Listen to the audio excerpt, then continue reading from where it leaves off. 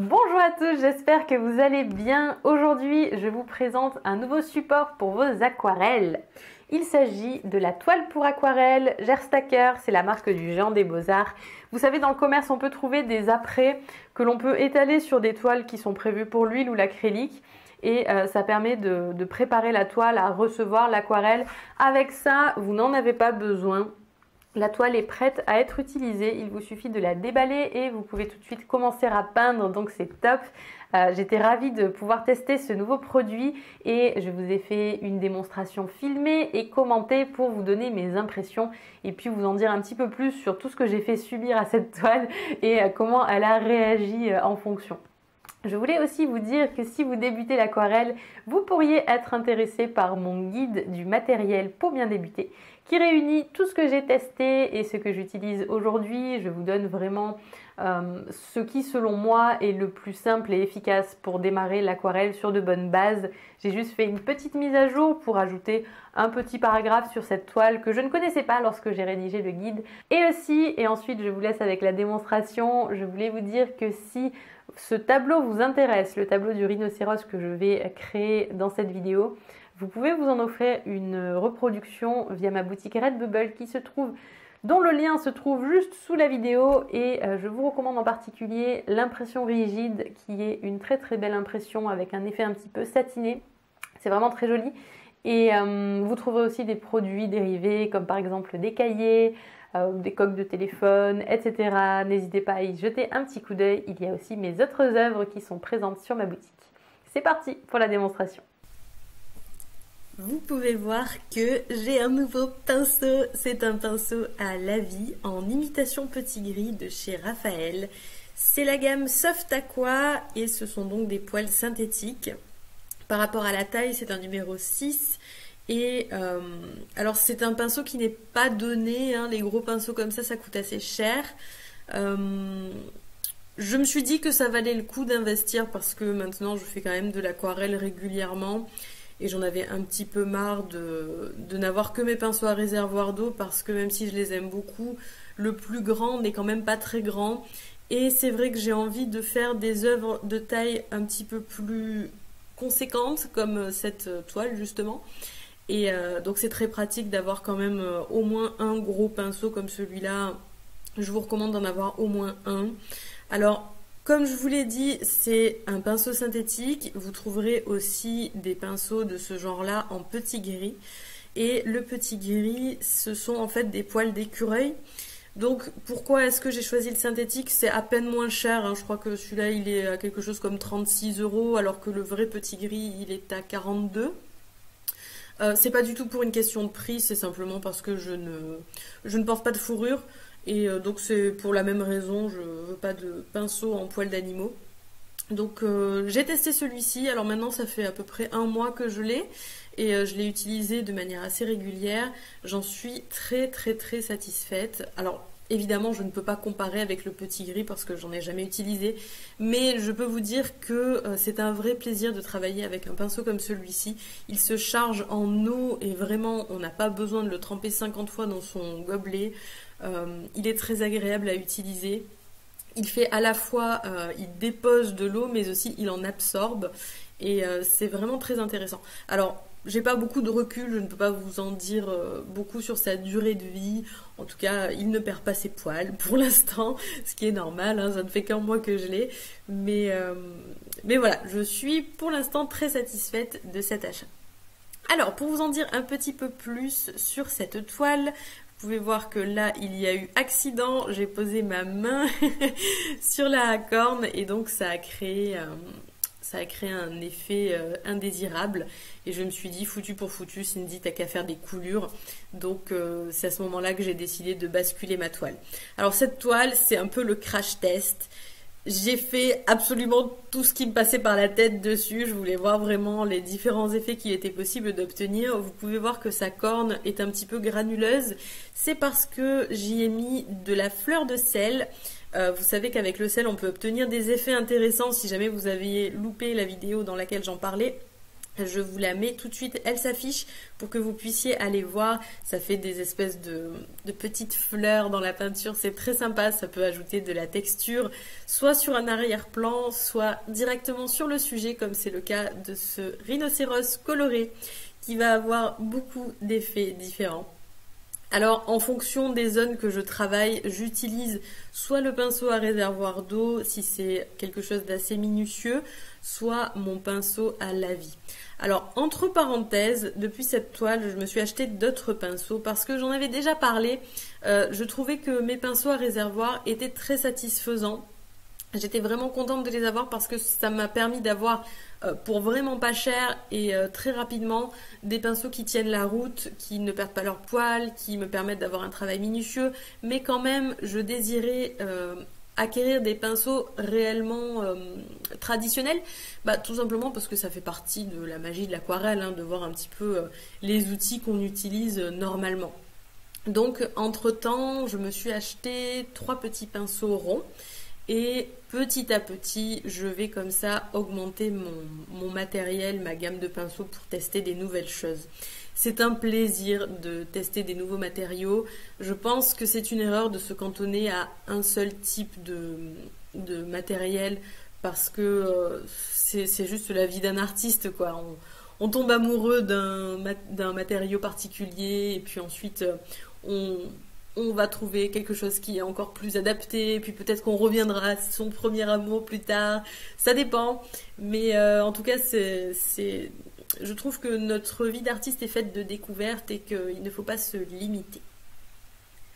Je reviens à ma toile puisque c'est bien sûr le sujet de cette vidéo. Alors, toile pour aquarelle, ça m'a beaucoup interpellée et j'étais très curieuse de savoir euh, quelle était la texture de cette toile quand on travaille dessus. Je pense que vous aussi, vous devez vous poser ces questions. Euh, c'est très différent du papier quand même. En fait, si vous voulez, je trouve qu'elle absorbe moins la peinture ce qui fait que ça peut être un avantage ou un inconvénient, mais notamment à un moment donné, ce sera un petit peu plus tard dans la vidéo, il y aura une zone que j'ai travaillée qui ne me convenait pas.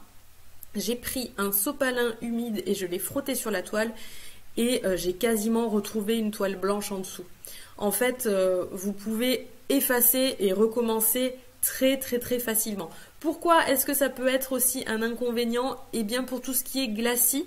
Donc si jamais vous ne savez pas ce que c'est, un glacis, ben, vous, allez, euh, vous allez avoir une, base, vous allez, avoir un sujet déjà peint. Et puis vous vous dites tiens, je, je verrai bien une teinte un petit peu plus chaude et vous allez passer une peinture très transparente par-dessus pour raviver les couleurs et obtenir, enfin modifier un petit peu comme ça la teinte de votre peinture comme un filtre. Quand vous travaillez sur papier, votre aquarelle sèche, elle est, euh, elle est un petit peu absorbée par le papier, suffisamment en tout cas pour vous permettre de passer cette couche par-dessus sans perdre les détails que vous avez peints en dessous. Mais là, comme euh, l'aquarelle est beaucoup moins fixée, le glacis est possible, mais alors il va falloir faire attention à ne pas frotter son, son pinceau et vraiment le passer très légèrement sans insister. Sinon, ce qui risque de se passer, c'est que vous allez faire bouger la peinture sèche qui se trouve en dessous et vous allez perdre vos détails, ce qui serait assez dommage. En dehors de cela, j'ai trouvé que cette toile était très agréable à, à utiliser. Euh, vraiment, les couleurs se mélangent comme sur du papier. On peut obtenir tout un tas d'effets comme sur du papier. Euh, c'est très amusant d'expérimenter sur cette matière-là. Vous pouvez voir que j'ai essayé aussi avec un vaporisateur d'ajouter des couleurs sur mon fond pour obtenir des effets différents. Faire un, petit arrière-plan pour ce rhinocéros pour qu'il ait euh, une petite ambiance autour de lui. Alors avec mon pinceau à la vie, en fait, je viens m'approcher vraiment au plus près des contours pour que ma peinture se diffuse euh, joliment jusqu'au contour. Parce que si je n'avais pas fait ça, euh, ce qui risquait de se passer, c'est que j'aurais eu un contour blanc autour du rhinocéros qui aurait fait un petit peu patchwork et qui n'aurait pas été forcément très agréable. Là, vous avez pu voir passer rapidement mon pinceau à la vie que j'ai ébouriffé, ce qui n'est pas très conseillé. C'est un peu de la maltraitance sur pinceau, mais je voulais essayer d'obtenir des effets de texture. Vous pouvez voir que je fais plein de choses, je projette de la peinture, je rajoute encore du sel, j'essaie de voir vraiment ce que cette toile a dans le ventre et euh, tout ce que je peux obtenir avec. Et ce qui était bien aussi avec le fait qu'on puisse corriger facilement euh, sa peinture, c'est que euh, pour, euh, pour obtenir des blancs là où vous avez oublié d'en réserver, c'est extrêmement facile. Vous mouillez un pinceau d'eau claire et vous frottez un petit peu le pinceau sur la zone que vous voulez éclairer et comme par magie ça s'éclaire. Pour ça, c'est vraiment c'est vraiment top et je dirais que même si vous débutez l'aquarelle, euh, vous pouvez très bien utiliser cette toile. C'est pas du tout un support qui est réservé aux aquarellistes expérimentés. Non, non. Même si vous n'avez pas beaucoup d'expérience, vous allez voir que euh, elle est vraiment facile à apprivoiser, donc il ne faut pas hésiter si ça vous plaît. Moi, la question que je me posais, c'était pour la conservation des œuvres. Je m'étais dit, le problème, c'est que si j'ai une toile avec de la peinture à l'huile, comme j'ai passé du vernis dessus, je sais que si jamais il euh, y a un problème, que le tableau est taché, que j'ai besoin de frotter, euh, je peux très bien passer un coup d'éponge et il n'y a pas de souci. Euh, avec le pastel, vu qu'il y a un verre devant, pareil, s'il y a un problème, c'est le verre qui prend, donc je n'ai qu'à nettoyer le verre. Maintenant, je me suis dit, l'aquarelle, c'est quand même pas pareil. Si jamais le tableau se prend des projections d'eau, moi j'ai peur que ma peinture fonde et que je perde la toile finalement. Donc, euh, aux, géants des beaux-arts, ils m'ont dit que normalement, il n'y avait pas besoin de la protéger, ce que je conçois, c'est-à-dire que si c'est juste une question de poussière, on peut très bien passer un petit chiffon dessus. Mais euh, j'avais, trop peur des accidents qui peuvent arriver hein, dans la vie de tous les jours, on ne sait jamais. Alors, ce que j'ai fait, c'est que euh, je me suis acheté une petite bombe de vernis de chez Le Franc-Bourgeois, qui est du vernis pour peinture à l'huile et pour peinture acrylique, et en spray. Euh, j'ai passé deux couches comme ça sur ma peinture et je me suis dit au moins elle sera protégée.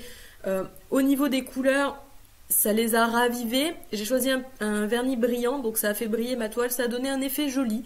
Euh, j'ai pas eu de catastrophe, donc c'est une astuce pour vous si vous aussi vous voulez protéger votre peinture. Sachez que vous pouvez très bien la vernir. J'ai préféré le vernis en spray parce que j'ai eu un petit peu peur des coups de pinceau avec un liquide sur, la toile. Euh, j'ai préféré éviter. Alors, pendant que je parlais, vous avez pu voir que j'ai utilisé une petite bombe pour obtenir des effets au niveau des oreilles du rhinocéros. C'est une astuce pour vous, pour avoir ce genre d'effet-là. J'ai utilisé un aérosol, vous savez, les... Euh, Les petites bonbonnes d'air comprimé qu'on utilise normalement pour déloger les poussières dans les claviers des ordinateurs. c'est pas très artistique comme fourniture, mais ça me permet d'avoir des, effets sympas. Alors là, on le voit plus parce que j'ai bougé la caméra. Voilà, là, on le revoit. Vous pouvez voir, ça fait des petites, euh, des petites projections comme ça. Euh. J'aime bien, je trouve que selon les sujets, ça peut apporter quelque chose d'intéressant. Ah, vous pouvez voir aussi euh, au niveau du sel, donc ce que ça a fait. Alors à la fois, il y a eu cette, cette comment dire, cet effet dû au sel, mais aussi j'ai pencher la toile de manière à ce qu'elle repose à la verticale, ce qui fait que ça a fait une espèce de coulure et euh, ça, a donné euh, cet effet de chou-fleur, j'ai envie de dire, au-dessus de la tête du rhinocéros. Alors ensuite, j'ai continué à travailler un petit peu mon arrière-plan et ça ne se voit pas dans la vidéo parce que évidemment tout est monté et accéléré mais il y a quand même plusieurs moments où j'ai décidé de tout laisser sécher et d'attendre parce que c'était plus simple. Comme vous savez, quand je travaille, j'appuie beaucoup ma main sur la toile. Euh, on l'a vu d'ailleurs avec l'accident du début, hein, avec la, corne. Euh, donc c'est mieux pour moi de, travailler sur une toile sèche de temps en temps. Ça me permet de faire mes petits détails, m'appuyer sans trop me soucier de ce qui se passe.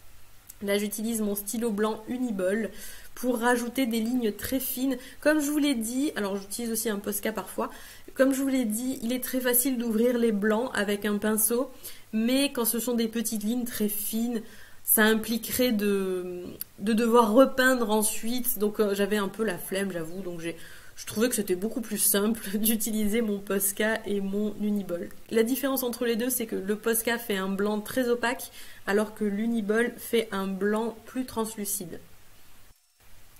J'ai gardé les détails pour la fin, les petites crevasses dans la peau, les petits plis très fins.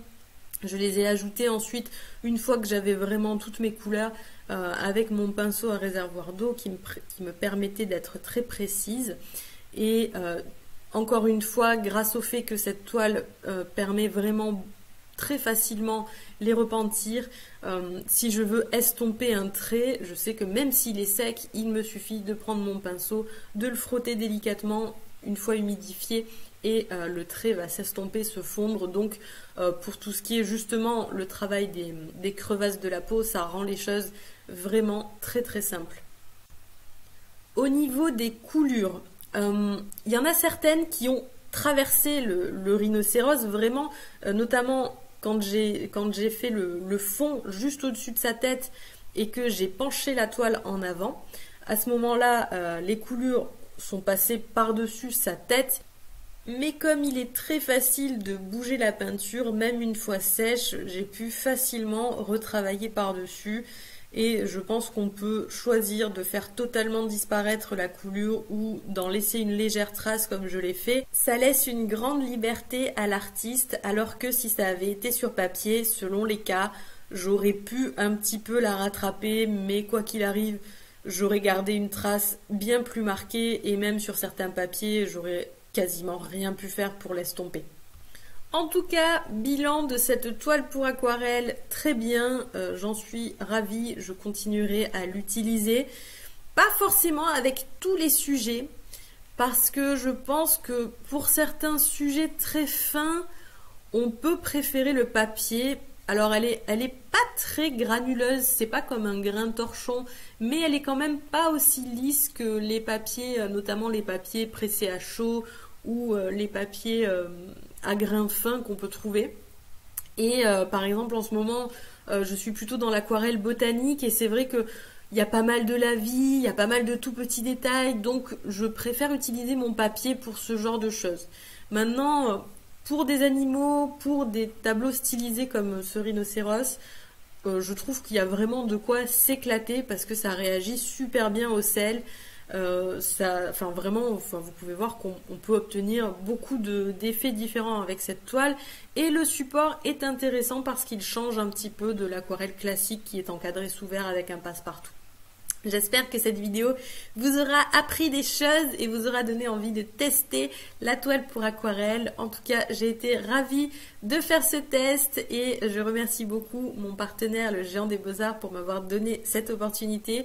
Si vous souhaitez tester ces toiles vous aussi, vous avez les liens qui se trouvent dans la description de la vidéo pour tout le matériel que j'ai utilisé. Et euh, si vous avez des questions, je suis à votre disposition. Vous pouvez me les poser dans les commentaires sous la vidéo. N'oubliez pas, si ce tableau vous plaît, vous pouvez en commander une reproduction sur ma boutique Redbubble. Si ça vous a plu, un petit pouce en l'air sur YouTube me fera très plaisir. Moi je vous fais des gros bisous et je vous dis à la semaine prochaine. Salut